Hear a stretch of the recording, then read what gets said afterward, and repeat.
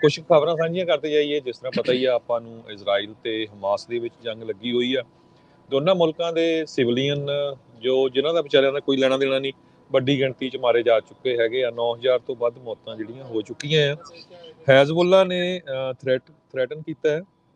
Netanyahu ਨੂੰ, Israel ਦੀ ਸਰਕਾਰ ਨੂੰ ਵੀ ਅਸੀਂ ਜਿਹੜਾ ਆ ਅਟੈਕ ਕਰਾਂਗੇ। ਤੇ ਉਧਰ ਨੇਤਨਯਾਹੂ ਨੇ ਵੀ ਇਹ ਕਹਿਤਾ ਵੀ ਅਸੀਂ ਕਿਸੇ ਤਰ੍ਹਾਂ ਦਾ ਜਿਹੜਾ ਸੀਜ਼ ਫਾਇਰ ਆ, ਉਹ ਨਹੀਂ ਕਰਾਂਗੇ। ਪ੍ਰੈਜ਼ੀਡੈਂਟ ਬਾਈਡਨ ਉਹਨਾਂ ਨੇ ਕੱਲ ਬੇਨਤੀ ਕੀਤੀ ਸੀ ਵੀ ਕੁਝ ਟਾਈਮ ਦੇ ਲਈ ਸਾਨੂੰ ਜਿਹੜਾ ਸੀਜ਼ ਫਾਇਰ ਕਰਨਾ ਚਾਹੀਦਾ ਤਾਂ ਕਿ ਜਿਹੜੇ ਰਾਹਤ ਕਾਰਜ ਹੈਗੇ ਆ ਜਿਹੜੀ ਯੂਐਨਓ ਆ ਜਾਂ ਹੋਰ ਜਿਹੜੀਆਂ ਨਾਨ ਪ੍ਰੋਫਿਟ ਆਰਗੇਨਾਈਜੇਸ਼ਨਸ ਹੈਗੀਆਂ ਆ ਉਹ ਕਿਸੇ ਨਾ ਕਿਸੇ ਤਰ੍ਹਾਂ ਜਿਹੜੀਆਂ ਆ ਉੱਥੇ ਲੋਕ ਉਹਨਾਂ ਦੀ ਹੈਲਪ ਕਰ ਸਕਣ ਕਿਉਂਕਿ ਉੱਥੇ ਬਿਜਲੀ ਪਾਣੀ ਐਵਰੀਥਿੰਗ ਕੱਟ ਆਫ ਹੈਗਾ ਆ। ਈਵਨ ਦਵਾਈਆਂ ਵੀ ਖਤਮ ਹੋ ਚੁੱਕੀਆਂ ਆਪਾਂ ਦੇਖਦੇ ਕਿਸ ਤਰ੍ਹਾਂ ਜਿਹੜੇ ਡਾਕਟਰਸ ਆ ਉੱਥੇ ਰੋ ਰਹੇ ਆ। ਉਹ ਬਾਰ-ਬਾਰ ਜਿਹੜਾ ਮੰਗ ਕਰ ਰਹੇ ਆ ਵੀ ਸਾਡੇ ਕੋਲ ਜਿਹੜੀਆਂ ਦਵਾਈਆਂ ਆ, ਉਹ ਘਟ ਗਈਆਂ ਹੈਗੀਆਂ। ਮੁੱਕ ਚੁੱਕੀਆਂ ਆ ਟੋਟਲ ਕਹਿੰਦੇ ਵੀ ਹੈਲਥ ਦਾ ਸਿਸਟਮ ਦਾ ਕੋਲੈਪਸ ਜਿਹੜਾ ਉੱਥੇ ਹੋ ਚੁੱਕਾ ਆ।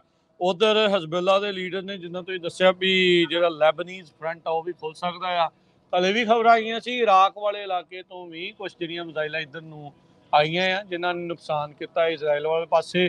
ਜੋ ਹਾਲਾਤ ਬਣੇ ਹੋਏ ਆ ਇਦਾਂ ਲੱਗ ਰਿਹਾ ਹੈ ਵੀ ਭਾਈ ਮਿਡਲ ਈਸਟ ਦੇ ਵਿੱਚ ਇਹ ਜਿਹੜੀ ਯੁੱਧ ਆ ਇਹ ਜਿਹੜਾ ਕਨਫਰੰਟ੍ਰੇਸ਼ਨ ਆ, ਉਹ ਵੱਧ ਸਕਦੀ ਆ, ਜੋ ਕਿ ਇੱਕ ਬਹੁਤ ਮਾੜੀ ਜਿਹੜੀ ਥਿੰਗ ਹੋਊਗੀ, ਬਹੁਤ ਮਾੜੀ ਸਥਿਤੀ ਹੋਊਗੀ ਓਵਰਆਲ ਮਿਡਲ ਈਸਟ ਦੇ ਲਈ, ਪੂਰੀ ਦੁਨੀਆ ਦੇ ਲਈ। ਅਜੇ ਯੂਕਰੇਨ ਰੂਸ ਦੀ ਜੰਗ ਦਾ ਪ੍ਰਭਾਵ ਜਿਹੜੇ ਉਹ ਖਤਮ ਨਹੀਂ ਸੀ ਹੋਏ ਤੇ ਹੁਣ ਇੱਕ ਨਵਾਂ ਫਰੰਟ ਜਿਹੜਾ ਉਹ ਇਸ ਟਾਈਮ ਸ਼ੁਰੂ ਹੋ ਚੁੱਕਾ ਆ। ਨਿਤਨਯਾਹੂ ਇਸ ਟਾਈਮ ਵਜਿੱਦਾ ਵੀ ਭਾਈ ਅਸੀਂ ਸੀਜ਼ ਫਾਇਰ ਨਹੀਂ ਕਰਦੇ ਲੋਕ ਮਰਦੇ ਆ ਮਰੀ ਜਾਣ ਸਾਨੂੰ ਕੋਈ ਜਿਹੜੀ ਇਸ ਦੇ ਵਿੱਚ ਪਰਵਾਹ ਨਹੀਂ ਹੈਗੀ। ਉਹ ਇਸ ਟਾਈਮ ਇਸ ਤਰੀਕੇ ਦੇ ਨਾਲ ਇਸ ਨੀਤੀ ਦੇ ਨਾਲ ਜਿਸ ਵਿੱਚ ਉਹ ਕਹਿੰਦੇ ਆ ਵੀ ਅਸੀਂ ਹਮਾਸ ਨੂੰ ਟੋਟਲੀ ਜਿਹੜਾ ਉਹ ਦੁਨੀਆ ਦੇ ਨਕਸ਼ੇ ਤੋਂ ਖਤਮ ਕਰ ਦੇਣਾ ਆ ਉਸ ਦੇ ਵਿੱਚ ਜਿਹੜੇ ਲੱਗੇ ਹੋਏ ਆ। ਇਹ ਵੀ ਰਿਪੋਰਟਸ ਆ ਰਹੀਆਂ ਵੀ ਆਈਡੀਐਫ ਜਿਹੜੀ ਇਜ਼ਰਾਈਲੀ ਡਿਫੈਂਸ ਫੋਰਸਿਸ ਆ, ਉਹਨਾਂ ਨੂੰ ਭਾਰੀ ਨੁਕਸਾਨ ਜਿਹੜੇ ਆ, ਉਹ ਝੱਲਣੇ ਪੈ ਰਹੇ ਆ। ਰੀਜ਼ਨ ਉਸ ਦੇ ਵਿੱਚ ਇਹੀ ਆ ਵੀ ਭਾਈ ਸਥਿਤੀ ਜਿਹੜੀ ਆ ਜਦੋਂ ਗਰਾਊਂਡ ਫਰੰਟ ਦੇ ਉੱਤੇ ਜਾਂਦੇ ਆ, ਤਾਂ ਉਹਨਾਂ ਨੂੰ ਕਾਫੀ ਜ਼ਿਆਦਾ ਜਿਹੜੀ ਪ੍ਰੋਬਲਮ ਆ, ਉਹ ਫੇਸ ਹੋ ਰਹੀ ਆ। ਕੁਝ ਖਬਰਾਂ ਸਾਂਝੀਆਂ ਕਰਦੇ ਜਾਈਏ, ਜਿਸ ਤਰ੍ਹਾਂ ਪਤਾ ਹੀ ਆ, ਆਪਾਂ ਨੂੰ ਇਜ਼ਰਾਈਲ ਤੇ ਹਮਾਸ ਦੇ ਵਿੱਚ ਜੰਗ ਲੱਗੀ ਹੋਈ ਆ। ਦੋਨਾਂ ਮੁਲਕਾਂ ਦੇ ਸਿਵਲੀਅਨ ਜੋ ਜਿਨ੍ਹਾਂ ਦਾ ਵਿਚਾਰਿਆਂ ਦਾ ਕੋਈ ਲੈਣਾ ਦੇਣਾ ਨਹੀਂ ਵੱਡੀ ਗਿਣਤੀ 'ਚ ਮਾਰੇ ਜਾ ਚੁੱਕੇ ਹੈਗੇ ਆ। 9000 ਤੋਂ ਵੱਧ ਮੌਤਾਂ ਜਿਹੜੀਆਂ ਹੋ ਚੁੱਕੀਆਂ ਆ। ਹੈਜ਼ਬੁੱਲਾ ਨੇ ਥ੍ਰੈਟ ਥ੍ਰੈਟਨ ਕੀਤਾ ਹੈ। ਨੇਤਨਯਾਹੂ ਨੂੰ, ਇਜ਼ਰਾਈਲ ਦੀ ਸਰਕਾਰ ਨੂੰ ਵੀ ਅਸੀਂ ਜਿਹੜਾ ਆ ਅਟੈਕ ਕਰਾਂਗੇ। ਤੇ ਉਧਰ ਨੇਤਨਯਾਹੂ ਨੇ ਵੀ ਇਹ ਕਹਿਤਾ ਵੀ ਅਸੀਂ ਕਿਸੇ ਤਰ੍ਹਾਂ ਦਾ ਜਿਹੜਾ ਸੀਜ਼ ਫਾਇਰ ਆ, ਉਹ ਨਹੀਂ ਕਰਾਂਗੇ। ਪ੍ਰੈਜ਼ੀਡੈਂਟ ਬਾਈਡਨ ਉਹਨਾਂ ਨੇ ਕੱਲ ਬੇਨਤੀ ਕੀਤੀ ਸੀ ਵੀ ਕੁਝ ਟਾਈਮ ਦੇ ਲਈ ਸਾਨੂੰ ਜਿਹੜਾ ਸੀਜ਼ ਫਾਇਰ ਕਰਨਾ ਚਾਹੀਦਾ ਤਾਂ ਕਿ ਜਿਹੜੇ ਰਾਹਤ ਕਾਰਜ ਹੈਗੇ ਆ ਜਿਹੜੀ ਯੂਐਨਓ ਆ ਜਾਂ ਹੋਰ ਜਿਹੜੀਆਂ ਨਾਨ ਪ੍ਰੋਫਿਟ ਆਰਗੇਨਾਈਜੇਸ਼ਨਸ ਹੈਗੀਆਂ ਆ ਉਹ ਕਿਸੇ ਨਾ ਕਿਸੇ ਤਰ੍ਹਾਂ ਜਿਹੜੀਆਂ ਆ ਉੱਥੇ ਲੋਕ ਉਹਨਾਂ ਦੀ ਹੈਲਪ ਕਰ ਸਕਣ ਕਿਉਂਕਿ ਉੱਥੇ ਬਿਜਲੀ ਪਾਣੀ ਐਵਰੀਥਿੰਗ ਕੱਟ ਆਫ ਹੈਗਾ ਆ। ਈਵਨ ਦਵਾਈਆਂ ਵੀ ਖਤਮ ਹੋ ਚੁੱਕੀਆਂ। ਆਪਾਂ ਦੇਖਦੇ ਕਿਸ ਤਰ੍ਹਾਂ ਜਿਹੜੇ ਡਾਕਟਰਸ ਆ ਉੱਥੇ ਰੋ ਰਹੇ ਆ।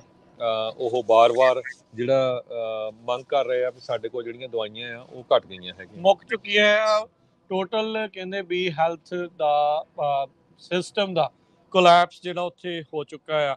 ਉਧਰ ਹਜ਼ਬੁੱਲਾ ਦੇ ਲੀਡਰ ਨੇ ਜਿਨ੍ਹਾਂ ਤੋਂ ਦੱਸਿਆ ਵੀ ਜਿਹੜਾ ਲੈਬਨੀਜ਼ ਫਰੰਟ ਆ, ਉਹ ਵੀ ਖੁੱਲ ਸਕਦਾ ਆ। ਹਲੇ ਵੀ ਖਬਰਾਂ ਆਈਆਂ ਸੀ ਇਰਾਕ ਵਾਲੇ ਇਲਾਕੇ ਤੋਂ ਵੀ ਕੁਝ ਜਿਹੜੀਆਂ ਮਿਜ਼ਾਈਲਾਂ ਇੱਧਰ ਨੂੰ ਆਈਆਂ ਆ, ਜਿਨ੍ਹਾਂ ਨੇ ਨੁਕਸਾਨ ਕੀਤਾ ਇਜ਼ਰਾਈਲ ਵਾਲੇ ਪਾਸੇ। ਜੋ ਹਾਲਾਤ ਬਣੇ ਹੋਏ ਆ ਇਦਾਂ ਲੱਗ ਰਿਹਾ ਹੈ ਵੀ ਭਾਈ ਮਿਡਲ ਈਸਟ ਦੇ ਵਿੱਚ ਇਹ ਜਿਹੜੀ ਯੁੱਧ ਆ ਇਹ ਜਿਹੜਾ ਕਨਫਰੰਟ੍ਰੇਸ਼ਨ ਆ, ਉਹ ਵੱਧ ਸਕਦੀ ਆ, ਜੋ ਕਿ ਇੱਕ ਬਹੁਤ ਮਾੜੀ ਜਿਹੜੀ ਥਿੰਗ ਹੋਊਗੀ, ਬਹੁਤ ਮਾੜੀ ਸਥਿਤੀ ਹੋਊਗੀ। ਓਵਰਆਲ ਮਿਡਲ ਈਸਟ ਦੇ ਲਈ, ਪੂਰੀ ਦੁਨੀਆ ਦੇ ਲਈ, ਅਜੇ ਯੂਕਰੇਨ ਰੂਸ ਦੀ ਜੰਗ ਦਾ ਪ੍ਰਭਾਵ ਜਿਹੜੇ ਉਹ ਖਤਮ ਨਹੀਂ ਸੀ ਹੋਏ ਤੇ ਹੁਣ ਇੱਕ ਨਵਾਂ ਫਰੰਟ ਜਿਹੜਾ ਉਹ ਇਸ ਟਾਈਮ ਸ਼ੁਰੂ ਹੋ ਚੁੱਕਾ ਆ। ਨਿਤਨਯਾਹੂ ਇਸ ਟਾਈਮ ਵਜਿੱਦਾ ਵੀ ਭਾਈ ਅਸੀਂ ਸੀਜ਼ ਫਾਇਰ ਨਹੀਂ ਕਰਦੇ, ਲੋਕ ਮਰਦੇ ਆ, ਮਰੀ ਜਾਣ, ਸਾਨੂੰ ਕੋਈ ਜਿਹੜੀ ਇਸ ਦੇ ਵਿੱਚ ਪਰਵਾਹ ਨਹੀਂ ਹੈਗੀ। ਉਹ ਇਸ ਟਾਈਮ ਇਸ ਤਰੀਕੇ ਦੇ ਨਾਲ, ਇਸ ਨੀਤੀ ਦੇ ਨਾਲ, ਜਿਸ ਵਿੱਚ ਉਹ ਕਹਿੰਦੇ ਆ ਵੀ ਅਸੀਂ ਹਮਾਸ ਨੂੰ ਟੋਟਲੀ ਜਿਹੜਾ ਉਹ ਦੁਨੀਆ ਦੇ ਨਕਸ਼ੇ ਤੋਂ ਖਤਮ ਕਰ ਦੇਣਾ ਆ।